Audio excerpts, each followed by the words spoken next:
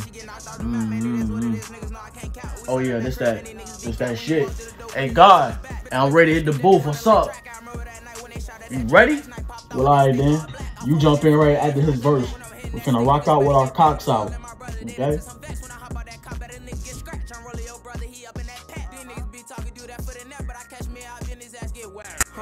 Is it too late? Uh, but these niggas really be two-faced. He tried to run from the Glock, beat the truck on the shoelace. Phone nigga cleaning them out like a toothpaste. Get hit thinking you talk with a switchblade. Bitch, I was talking since I was in fifth grade. Uh, we ain't gon' speak on the old days, beating and jacking them up for the lunch pay. Don't let me go back to the old ways. Young was trapping and moving on four ways. Up in that Drake thing, hitting your way. Don't know your way, my way, blow for blow way. All black 10 on the fan, but we ain't gon' spin. We ready to go crack on the one way. I can't keep no bitch. Why? Cause all these bitches got edge to go lay. But I'm trying to stand on business and I'm steady blowing through bowls and throwing big O's for all the dogs when miss. These niggas really be old pillow talking the hoes. The quickest way get to the detention. Comment is out, man. I'm turning hard by the car, man. Up in the bitch and I'm back for nothing. Ain't got my bank, a little buddy get snapped in. Pop at the car with a glitter. That fan born in the East End. You know we spend band AP, stick to my side like a best friend. Back though, geek, geek down and let off a new gen. Look at me, baby. I'm rolling out two ten, seven and tens, but I'm trying to rob the M's and far around by a new uh-huh. band. Bitches be rolling up.